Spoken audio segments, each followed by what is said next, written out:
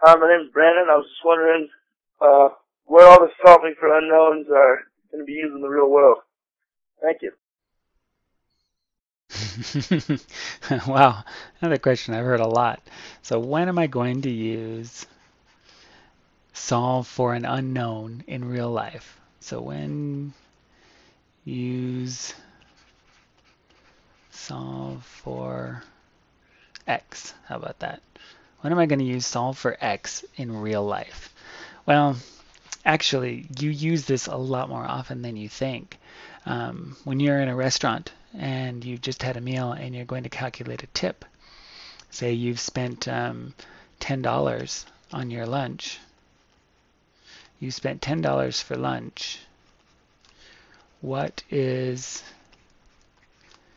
a 15% tip?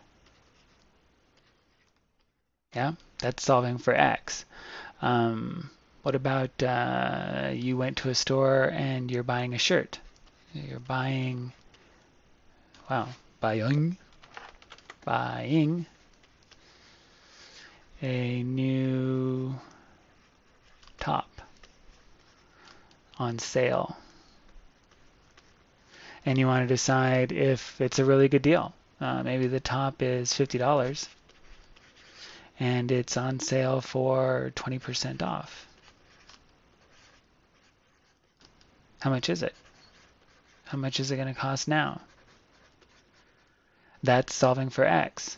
Um, when you're when you're in the grocery store and you're buying cereal and you decide should I buy the small box which is you know 10 ounces 10 ounces for seven dollars or should I buy 20 ounces for 13.50 which is a better deal and why? Um, that's definitely solving for x. Uh, when you're when you're calculating interest you borrow a loan from the bank uh, and you want to know how much you're going to have to pay back in the long run. Um, when you are trying to decide whether to go across town to get cheaper gas uh, is it worth driving clear across town to save two cents a gallon on gas? It might be. Depends on how much gas you're buying. Uh, depends on how far it is across town. Depends on a lot of things. Um, is it a better deal to buy milk and chocolate and make your own chocolate milk or to buy chocolate milk directly from the store? These are all situations where you use equations in real life. You just don't usually think of them as solving for x.